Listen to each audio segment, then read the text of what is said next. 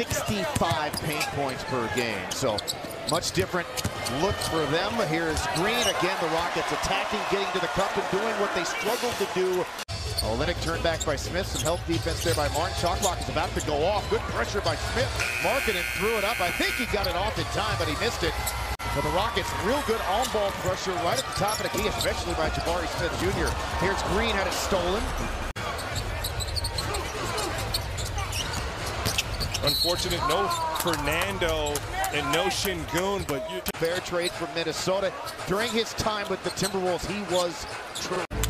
Out to Markkanen.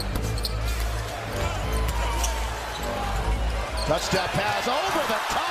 Morton to Green. You see how athletic Jalen Green is. And I actually do think it's going to work out very well for Minnesota, even though they ultimately gave up five first-round picks to get him. So too did the Cavs.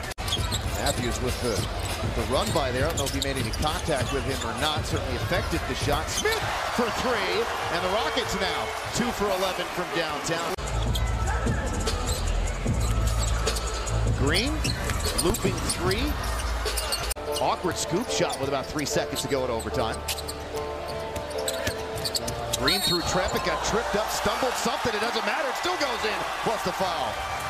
Because, uh, again, Harden, Westbrook, Capela all out. I do, I could be wrong, but I, I Green works baseline, had it stripped, gets it back. Somebody shoot it. Christopher does, falling out of bounds in the corner. And Green works baseline, had it stripped, gets it back. Somebody shoot it. Christopher does, falling out of bounds in the corner. And yeah, one time Clarkson really got me out of a bind, man. I was having my, my basketball camp for the kids and couldn't find a speaker, and Jordan Clarkson comes out of nowhere and, and, and steps up and showing his fine basketball still. He's been relatively quiet, oh, though, just four points.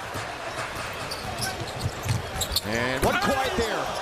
They haven't played the best game. Their legs are tired, so yeah. don't give them confidence. Two straight overtime wins. Green with the step ends what was a 9-2 run for Utah. Markkanen jams it home. Off balance three, Jalen Green.